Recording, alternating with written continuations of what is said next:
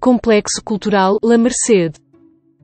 o atual complexo cultural La Merced é composto por dois edifícios independentes de diferentes origens, usos e cronologias, o convento e a igreja de La Merced e o antigo palácio de arrecadação de impostos da Mesa Mestral. A primeira delas, e a mais monumental, é a capela do antigo colégio jesuíta, cujo projeto foi atribuído ao irmão Francisco Bautista, e sua construção foi concluída em 1715. É um edifício jesuíta que foi construído pela Companhia de Jesus para localizá-lo centro de ensino, segue o modelo da Igreja do Jesus em Roma, e tem planta em cruz latina com transepto ligeiramente marcado, nave única com abóbada de meio canhão com lunetas, capelas entre contrafortes e cúpula suportada por pendentes sobre o transepto, que se traduz em exterior em uma cúpula monumental.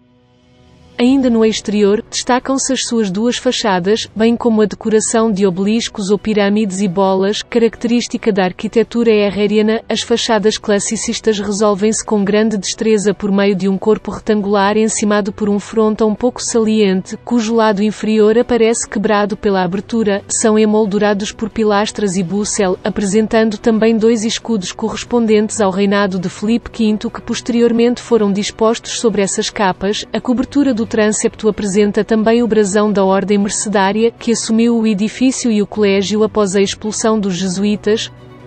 o segundo edifício é uma construção da Ordem de Santiago originada no século XVI que serviu para cobrar impostos da mesa mestral. É um edifício mudejar que se organiza em torno de um pátio pórtico com cisterna, composta por arcos semicirculares bandados enquadrados por alfice sobre pilares de tijolo poligonais no piso inferior e arcos segmentares, também enquadrados por alfice sobre pilares de a mesma tipologia no superior, actualmente, como consequência do desmoronamento de um dos corredores e do seu posterior restauro, metade do pátio apresenta-se caiado de branco e o resto em tijolo aparente.